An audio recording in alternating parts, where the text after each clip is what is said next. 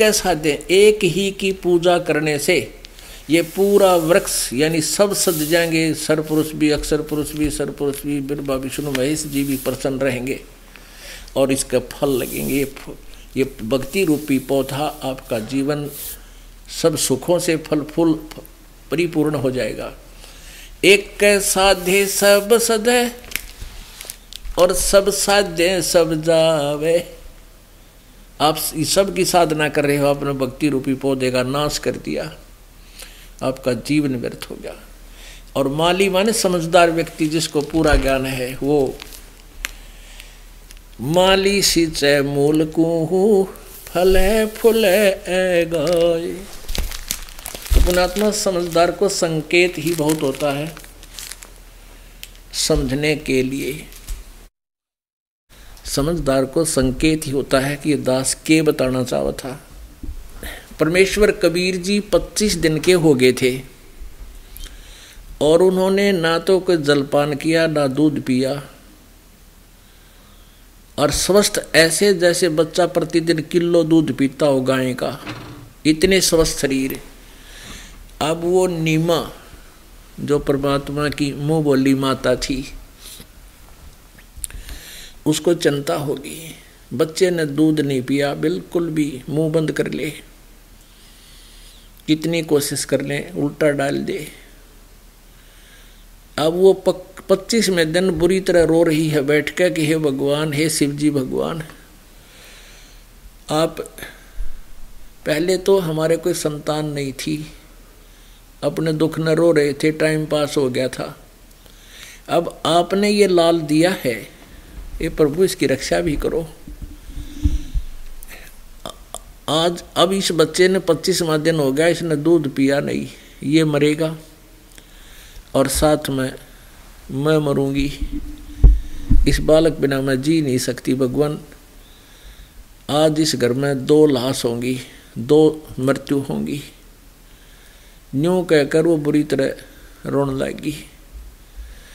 शंकर भगवान शिवपुरी से परमात्मा प्रेरणा करते हैं, इनको रिमोट से। शिव जी वहाँ से आए, एक साधु रूप बना के एक भक्त ब्राह्मण रूप बना के भगत रूप बना के संत रूप बना कर आखड़े हुए और कहने लगे माता जी माई क्यों रो रही है तू? क्या बात हो गया बहन? अब वो बुरी तरह रोई, रो रही है और देख भी नहीं रही संत की तरफ़। जब कई बार कहा, भगवान शिव जी ने तब कहा माई ने कि, भगवान के महात्मा जी, आप भी रोन लग जाओगे। मेरी मेरी कहानी ना सुनो। यही, इसी में हित होगा। फिर भी शंकर भगवान ने, यानी संत रूप में, ऋषि, साधु रूप में विराजमान ने कहा, बेटी, ऐसा कहते हैं, अपना दुख किसी को बता दे। मन हल्का हो जाता है। उन्हें रोते रोते सारी कथा सुनाई कि हमारे पहले तो कोई संतान नहीं थी। एक दिन मेरे भगवान शंकर जी ने, शिव भगवान ने लहर तारा तालाब में कमल के फूल पर मुझे ये लाल दे दिया। आज इसने पच्चीस दिन हो गए, कुछ भी नहीं खाया पिया। अब ये मरेगा, ये तो अंडरस्टूड है कि ये तो मरेगा, जो बालक नहीं खा रहा, जीवेगा ही नहीं। तो माई को भगवान शिव ने कहा कि मुझे दिखा तेरा बालक। वह लाई उठा के और भगव उस महात्मा के चरणों में डालना चाहा। जैसे बच्चे ने चरणा में डाल दिया करे, आप ही जीवन दान करोगे। वहाँ से उठ कर उसके हाथों से ऊपर नू करने लगी, तभी हाथों से ऊपर उठे परमात्मा और लगभग छः सात फुट की ऊंचाई पर नो दूर जाकर विराजमान हो गया आकाश में, बगैर किसी सपोर्ट के। तब भगवान शिव ने ऐसे किया हाथों में, गोदी में लेने के लिए वहाँ आकर विराजमान हो गए। तब परमात्मा कबीर जी और शिव जी की छः बार चर्चा हुई। तो परमात्मा ने परमेश्वर कबीर जी ने कहा कि आप इसको कहो, इनको कहो कि कुंवारी गाय लावें। और उसके ऊपर आप अपनी आशीर्वाद भरा हाथ रख देना, वह दूध देने लग जाएगी। भगवान शिव जो साधु वेश में थे, उसने कहा कि माई, आपके पति को कहो कि वो एक कोरा बर्तन लावा को मार के थे स्वच्छ। और एक कुंवारी गाय ले आवे। ये बालक दूध पिया करेगा उसका। ऐसी व्यवस्था की गई। शिव भगवान ने कमर पे हाथ रख दिया, बछिया के, कुंवारी गाय के। लंबे लंबे सतन हो गए, और अपने आप दूध निकलन लग गया। वो पात्र भर गया। परमेश्वर कबीर जी ने वो दूध पिया, क्योंकि वो सतलोक से आया उस उस पवित्र गाय के सतन में। ऊपर से भेजा भगवान ने, बुलाया मंगा तो उसके बाद वो दूध देने लगी और नीमा नीरू प्रतिदिन अपना दूध निकाल और बच्चे को पिला और अपना भी गुजारा करें। अपने आत्माओं, ये 600 वर्ष पहले भी परमात्मा ने ये लीला की थी। सतयुग में भी यही लीला की थी, त्रेता में भी यही लीला की थी, द्वापर में भी यही लीला की थी। इसलिए उसका प्रमाण हमारे पवित्र वेदों में विद्यमान है। आपको दिखाते हैं, ऋग्वेद मंडल नंबर नौ और सूक्त नंबर एक और मंत्र नंबर नौ। ऋग्वेद मंडल नंबर नौ। अब दिखाते हैं आपको, ये कहाँ से प्रकाशित, कहाँ से है?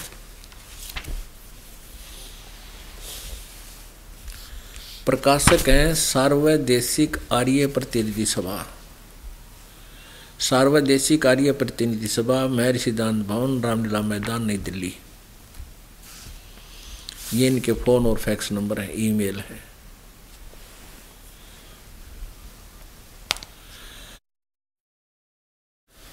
आर्य भाषा भाषा, महर्षि दान सरस्वती कृत।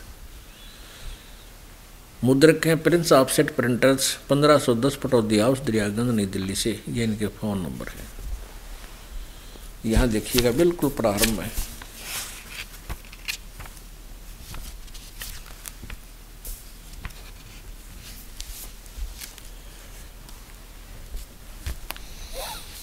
यह है ऋग्वेद मंडल नंबर नौ और सूक्त नंबर एक और ये मंत्र नंबर नौ। अभी इमम अधन्य। उत्सृणंती धेनव शिशुम सोम इंद्राय पातवे। इमम माने उस सोमम माने सोम स्वभाव वाले श्रद्धालु पुरुष को इन्होंने तो ठेका ले रखा है अनुवाद को गलत करने का, फिर भी बहुत कुछ सुलझेगा।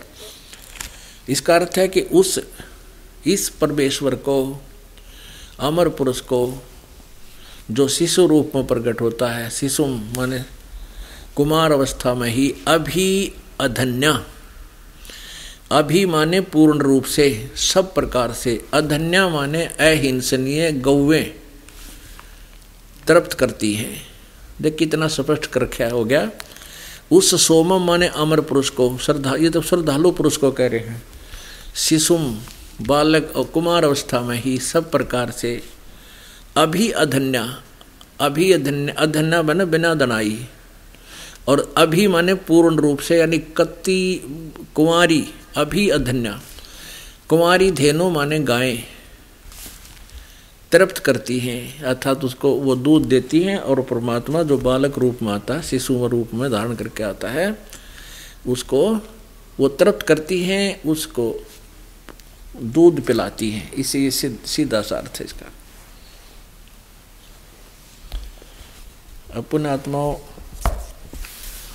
अब आप जी को ये प्रत्यक्ष हुआ कि परमात्मा ऐसी लीलाएँ करता है, जिसको हमारे वेद भी प्रमाणित कर रहे हैं।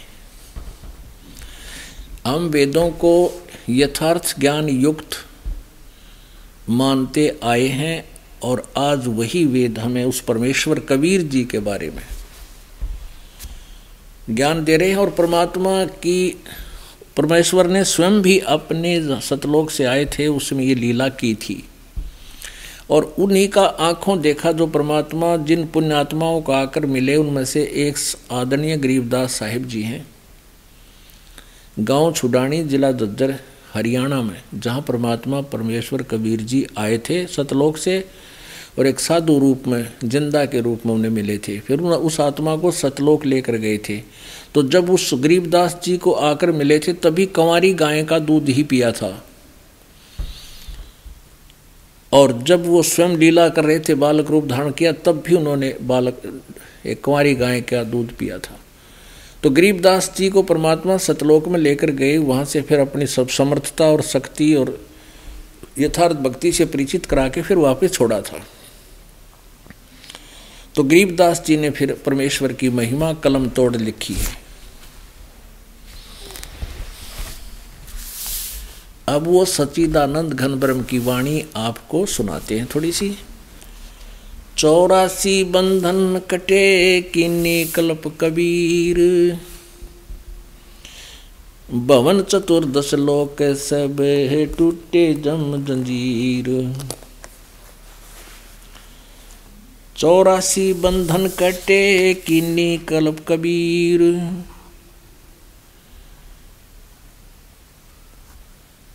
भुवन चतुर्दश लोक सब टूटे जम जंजीर। अंत कोट ब्रह्मांड में बंदी छोड़ कहाए सो तो एक कबीर हैं जो जननी जने नमाए। शब्द स्वरूप साहेब धनी, शब्द सिंध सब माही। बाहर भीतर रम रहा, जहाँ तहां सब ठाही। जल थल पृथ्वी गगन में बाहर भीतर एक। वो पूर्ण ब्रह्म कबीर हैं। अवगत पुरुष अलेख।